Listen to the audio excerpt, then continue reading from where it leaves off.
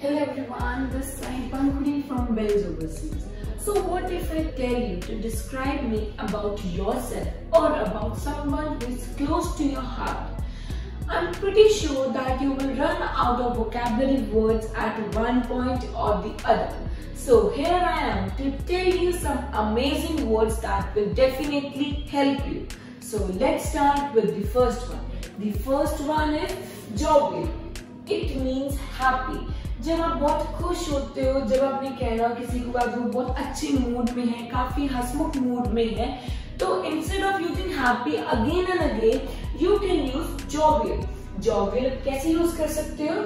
He is in jovial mood today वो आज काफ़ी अच्छे मूड में है.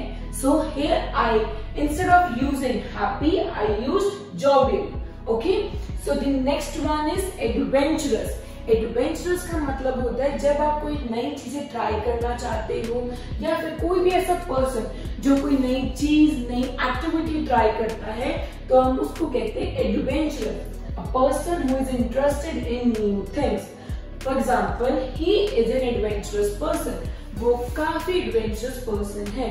उसे काफ़ी नई चीज़ें ट्राई करना पसंद है.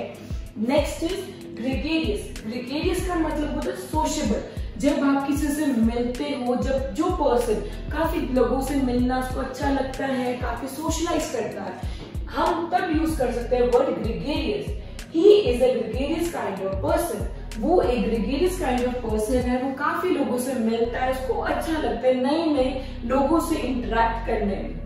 So next one is amiable amiable का मतलब होते हैं फ्रेंडली जब आप किसी से काफ़ी अच्छे रिलेशन में होते हो, काफ़ी अच्छा बंदा होता है, जो सबको अपने फ्रेंड्स बना लेते तब instead of using friendly again and again हम कहते हैं फ्रेंडली पर्सन वो सबसे मिलता है, हम यूज़ कर सकते हैं amiable I am surprise to see how amiable he is मैं बहुत सरप्राइज़ हूँ, बहुत हैरान हूँ।